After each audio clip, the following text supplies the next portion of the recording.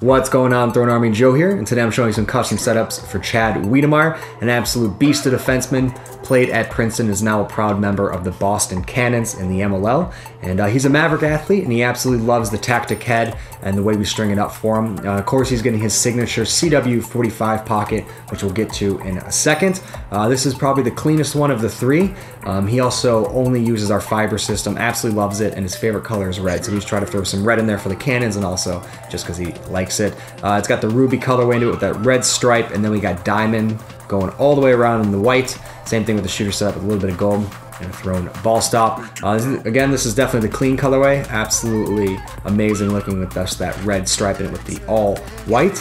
In terms of the pocket, the CW45 is great for a ball handling defenseman or LSM. It's going to give you uh, a nice mid that's channeled but not overly defined, allowing the ball um, to shift a little bit higher to give you a little bit better clearing potential. And then also if you're operating traffic with one hand, uh, the ball is able to sit down in the throat just a little bit but not get too stuck for that nice clean release you're looking for. He does some pretty good clears and also um, some pretty powerful cross clearing um, while also trying to operate in traffic. So we try to give him a high hold stick with a nice clean whip to it. That's a little bit on the adjustable side in case he needs to throw a little bit farther. The pocket will shift up and coming off those shooters will give him a little bit more hook, a little bit more power to be able to throw um, balls uh, a little bit more on the line as opposed to doing a nice big arc to it. Uh, but that's about it. We've been stringing this up for about a year like this for him. Absolutely loves it. And uh, this is the clean colorway. Next up is the Pop of Red colorway. It's got the same pockets, same mesh, same stringing. The only thing different is the head dye. Um, this has got a new thing that I've been doing lately that I really like, which is doing a solid color, but actually it has a fade and kind of the hue. So up top we kind of have a normal red and then it goes down to more of a dark scarlet red, which gives a, a really cool look, almost like it's kind of fading. And also here we ghosted in Throne, uh, which I think goes really well with kind of all the Maverik stuff on it. Not too flashy, just a little bit in there and looks great with the same mesh and pocket. I also like that one kind of looks like, you know, a home, the other one looks kind of an away colorway. So I think that's kind of a cool narrative to um, always doing like a main stick and a backup stick. And uh, again, he likes red, so I think he's really gonna like this one.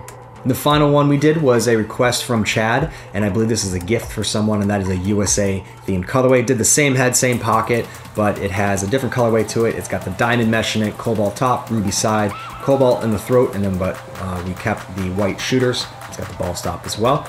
Biggest thing about this is definitely going to be the dye, kind of an OG Throne colorway to it with doing the marble into a faded solid. Uh, but this one we did something a little bit different. It's got the red marble up top, but instead of just marbling to where the fade was going to be, we actually marbled it all the way down to here and then did the royal over it. So the marble is actually in the fade and a little bit of solid as well. Uh, adding a little bit more depth, a little more texture, and kind of a, a cool, different look, a different look than uh, you normally see. Absolutely love the way that turned out. And uh, I like that we did this one with just the diamond. It kind of, you know, it's got that kind of throwback look uh, for me from Throne, and the other one's a little bit more kind of clean and classy, uh, what we've been doing lately. The red one's still my favorite, but Chris absolutely loves this one. Those are the three Maverik Tactiks for Chad Wiedmaier. If you guys want to know why he likes this head, mesh, and pocket, you can definitely check out the featured video we did on him. I'll put a link in the top right hand corner and also in the description below. As always, let me know what you think about these three heads in the comments below. And if you did cool custom heads like this, be sure to throw the video like and subscribe to throw Throne Lacrosse to not miss the next one. That's everything. Hope you enjoy it, and I'll see you on the field.